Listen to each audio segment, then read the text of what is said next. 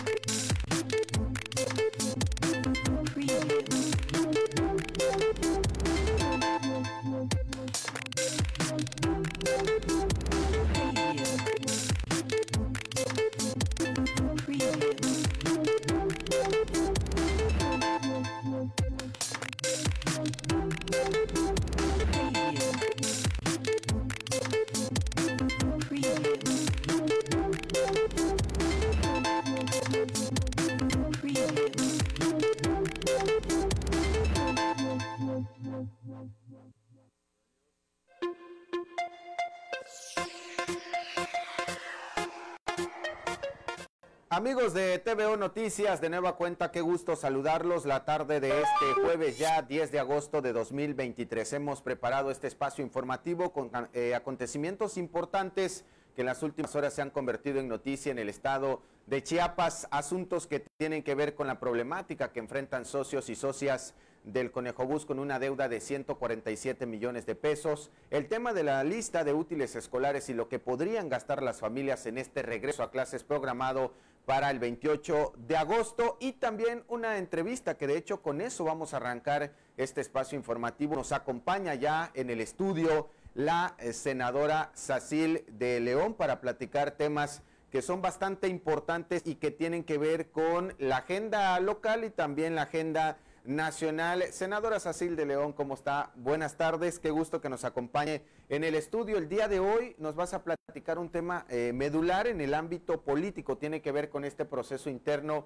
de Morena. ¿Cómo estás? Buenas tardes. Muy bien, muchas gracias Adolfo por recibirnos aquí en las instalaciones de Cuarto Poder y por supuesto un muy buen provecho a todas las familias que nos sintonizan y nos permiten estar en sus hogares a través de, estas plataformas que nos permiten informar y Gracias, senadora. Pues arranquemos de lleno. ¿Qué eh, le interesa hoy a la senadora en relación a la agenda legislativa? Pues bueno, estamos desde hace, te platicaba fuera del aire, desde hace, desde los primeros días de mayo, eh, permanentemente aquí en el estado, visitando municipios, comunidades y ejidos que nos permitan estar en contacto directo con los ciudadanos, con las ciudadanas, para tener una agenda legislativa enriquecida que vamos a llevar al último tramo ya de esta legislatura en primero de septiembre, que estaremos iniciando el último periodo ordinario más largo, por decirlo así, que tenemos en esta legislatura y bueno, con muchos nombramientos pendientes que tenemos ahí en el Senado y muchas iniciativas particulares y personales que tenemos eh, en el Senado y que han estado un poco detenidas y queremos ahora pues tener eh, tratar de, conseguir estos apoyos de los grupos parlamentarios para que podamos sacarlos adelante. Oiga, senadora, viene eh, la doctora Claudia Sheinbaum en los próximos días y también la veo entusiasmada con este proyecto. Sí, Adolfo, estamos muy contentos de recibir a quien estamos seguras y seguros que será la próxima coordinadora de la defensa de los comités en defensa de la Cuarta Transformación. La, doctora Claudia Sheinbaum nos visita el sábado 12. Vamos a estar acompañándola en esta gira por el estado de Chiapas en San Cristóbal de las Casas, en Villacorso y en Tuxtla Gutiérrez. Entonces, pues ahí eh, armando todo para la visita en una fiesta democrática, que es a lo que nos invita este proceso interno del Movimiento de Regeneración Nacional, como bien lo dijiste tú, Adolfo, y participando, que creemos y estoy convencida que es la oportunidad que tenemos las mujeres de este país, de nuestro país, de tener a la primera presidenta mujer en la doctora Claudia Sheinbaum Pardo. Toca un tema importante porque incluso de las seis personas que están en esta competencia interna es la única mujer que busca también esta, este proyecto, esta coordinación y seguramente después la candidatura de eh, Morena, eso también es importante decirlo. Y, y, es la única mujer y hay que decirlo claro, este, no solo por el hecho de ser mujer, ha mostrado capacidad en los espacios en los que se ha tenido la oportunidad de servir. Bueno, pues es la primera mujer electa eh, jefa de gobierno de la Ciudad de México. Ya había habido una mujer que fue interina o sustituta, no tengo bien el dato, pero es la primera mujer electa este, por elección popular que ha gobernado la Ciudad de México, la ciudad más importante de nuestro país, el estado más importante, pero también una de las más grandes e importantes del mundo. Ha sido un gran reto, ha hecho grandes cosas para la Ciudad de México y los que eh, coincidimos en reuniones o cuando tenemos que estar en el Senado de la República, eh, vemos una ciudad diferente, una ciudad más segura, una ciudad en donde han implementado tecnologías que ayudan a que este, pues, se conviva de, mejor manera, con mayor armonía. Y bueno, ha implementado muchos programas para mujeres. Creemos que la doctora Claudia Sheinbaum es la persona indicada para ser la coordinadora de los comités en defensa de la cuarta transformación y para darle continuidad a la transformación que inició nuestro presidente Andrés Manuel López Obrador. Senadora, eh, usted eh, particularmente qué puntos destaca de la doctora Claudia Sheinbaum. Cada equipo obviamente destaca eh, a cada uno de los personajes que viene respaldando usted.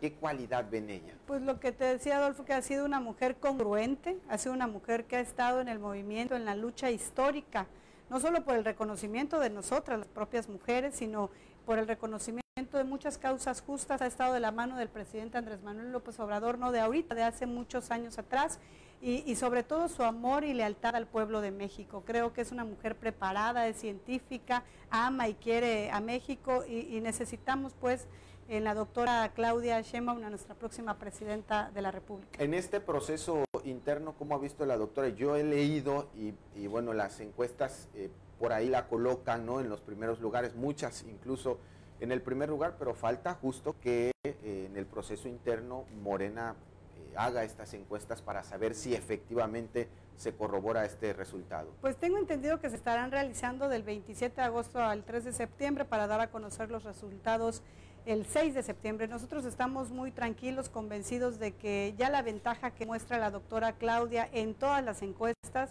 en todos los medios nacionales, pues no creo que varíe más, no va a variar nada y creo y, estoy convencida que será la próxima coordinadora porque el pueblo de México, las mexicanas y los mexicanos así lo sienten, así lo tienen en el corazón y pues serán los que decidan eh, del 27 al 3 de septiembre, que sin lugar a duda estaremos eh, hablando de nuestra primera presidenta de la República. ¿Se tiene alguna agenda para el próximo sábado, alguna temática en particular que se vaya a dialogar con la gente que vaya al encuentro? Va, va a tener la doctora Claudia dos asambleas informativas en San Cristóbal de las Casas a las 10 de la mañana en Villacorso a las 3 de la tarde y vamos a estar terminando la agenda del día con un encuentro académico aquí en un hotel de la zona poniente de la ciudad de Tuxtla Gutiérrez. Claro.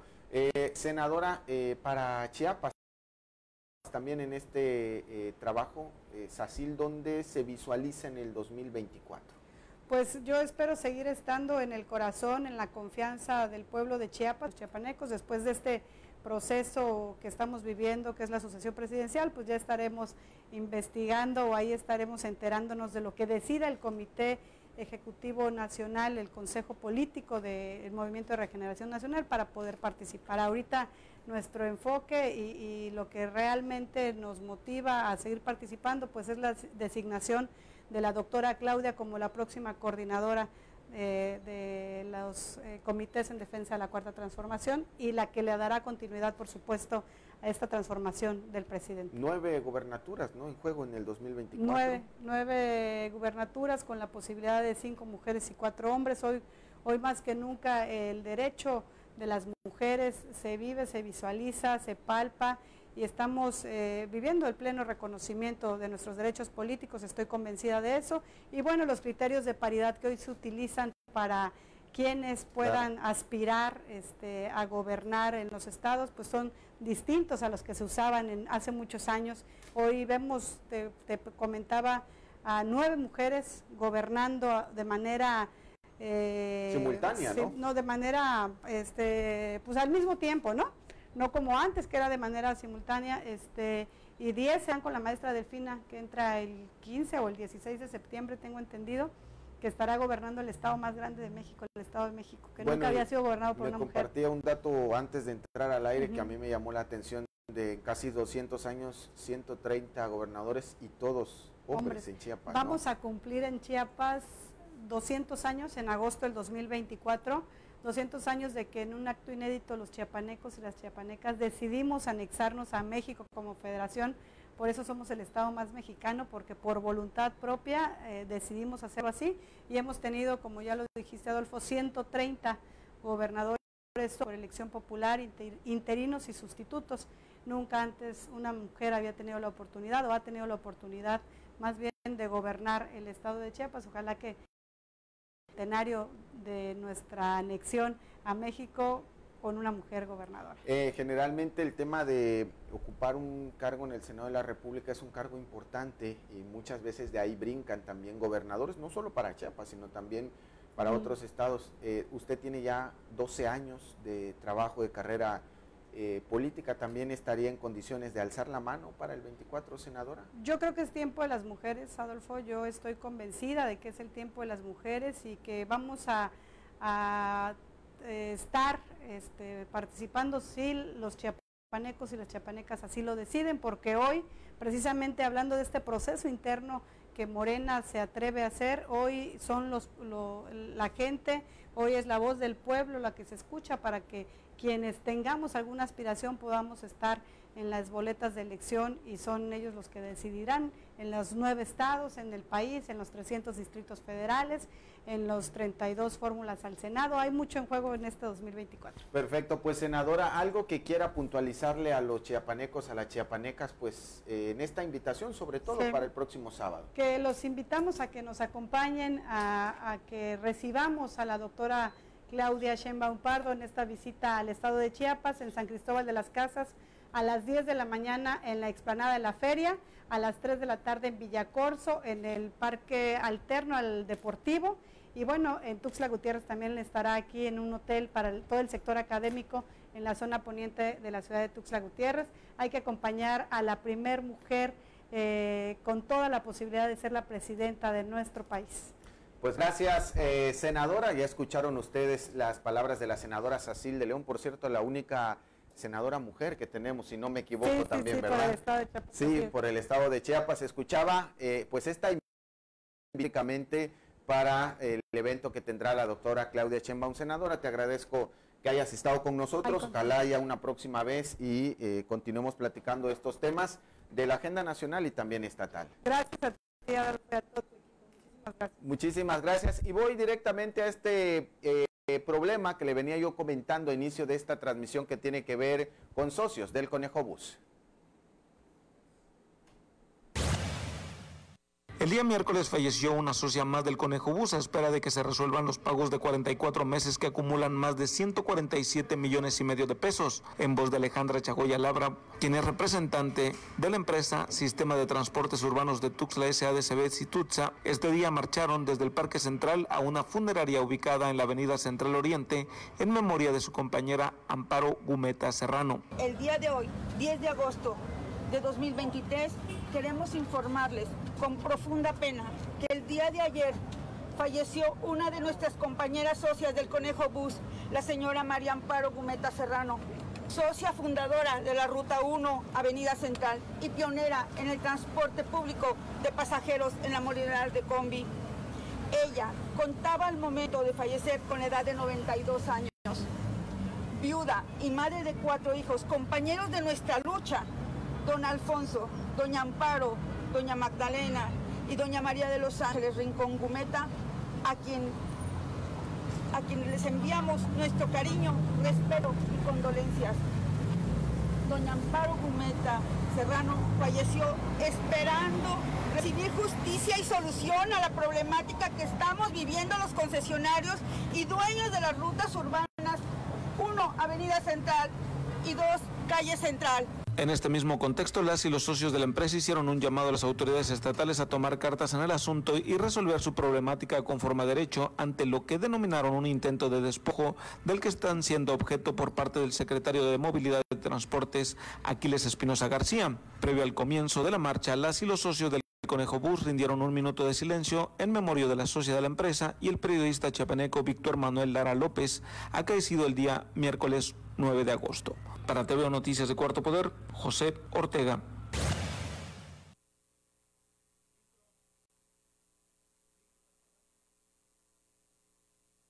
Le decía yo que es eh, un tema por demás preocupante. Imagínense ya 147 millones de pesos de deuda y los meses siguen avanzando. Permítame ahora cambiar de información y pasar a un tema que seguramente en algún momento todos lo hemos vivido y me refiero al estrés financiero, pero ¿de qué se trata este asunto? Vea la información.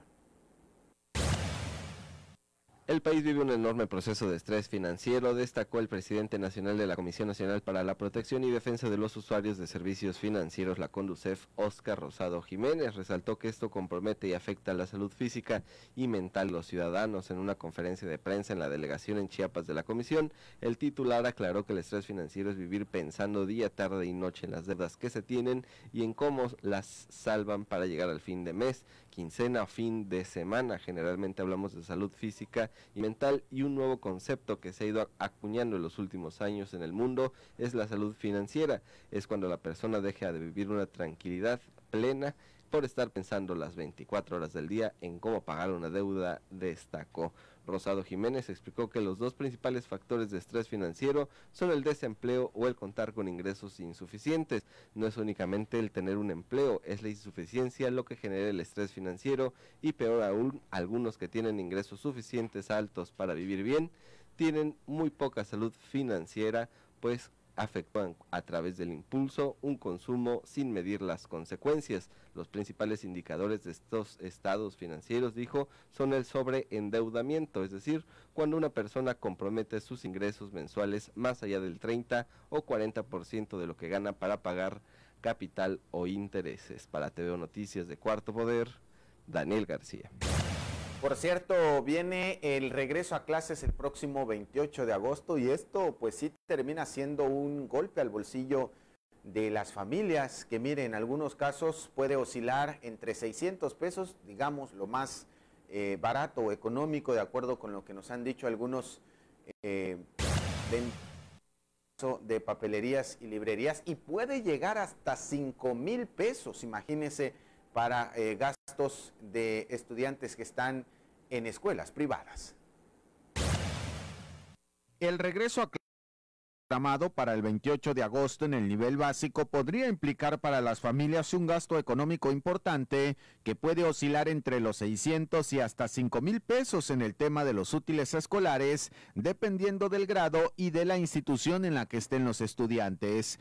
Julio Sánchez Esquinca, presidente en Chiapas de la Asociación de Librerías y Papelerías, mencionó que para las actividades académicas los cuadernos forman parte de los materiales necesarios y que son básicos en este caso para el funcionamiento de las actividades escolares. En una lista compartida para un estudiante de primer grado maternal, se piden al menos cuatro libretas para español, lectoescritura, matemáticas, conocimientos del medio español, una lapicera, colores de 24 piezas, así como un resistol grande. Sin embargo, la lista se puede extender a otros 28 útiles para tener al interior del salón y algunos se relacionan con broches, papel bond, hojas de colores, barras de silicón, toallas desinfectante, plumones y hasta tapitas de garrafón. Sánchez Esquinca refirió que los gastos más abundantes vienen en la parte de preescolar, que puede oscilar entre 800 a 1000 pesos. En este rubro, los materiales tienen que ser de mejor calidad para estudiante,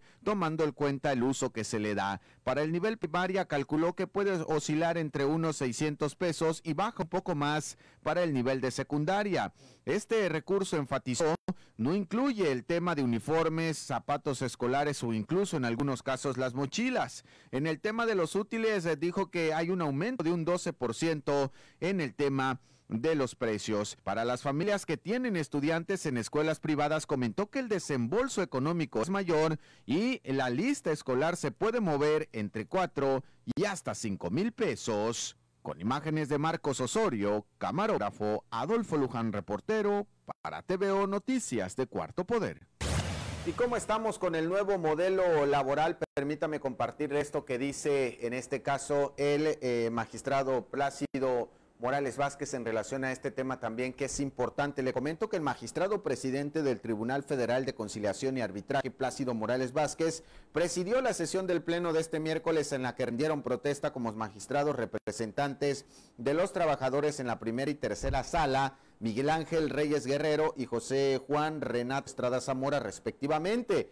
En la sesión estuvieron presentes Joel Ayala Almeida, quien es el presidente del Comité Ejecutivo Nacional de la Federación de Sindicatos de Trabajadores al Servicio del Estado en representación sindical que realizó las propuestas de acuerdo a la ley. De esta manera, pues, se cumple la estructura tripartita de este órgano jurisdiccional dotado de plena autonomía, cuyo mandato es hacer realidad la reforma laboral que garantiza el respeto supremo de los derechos laborales y la democracia interna. Así se destacó en este importante, le digo, evento que se llevó a cabo. Y permítame con eso concluir este espacio informativo, esta segunda emisión, agradeciendo como siempre la amabilidad de su tiempo. A nombre de todo el equipo, la gente que hace posible este espacio informativo, le damos las gracias. Que tenga buena tarde. Buen provecho.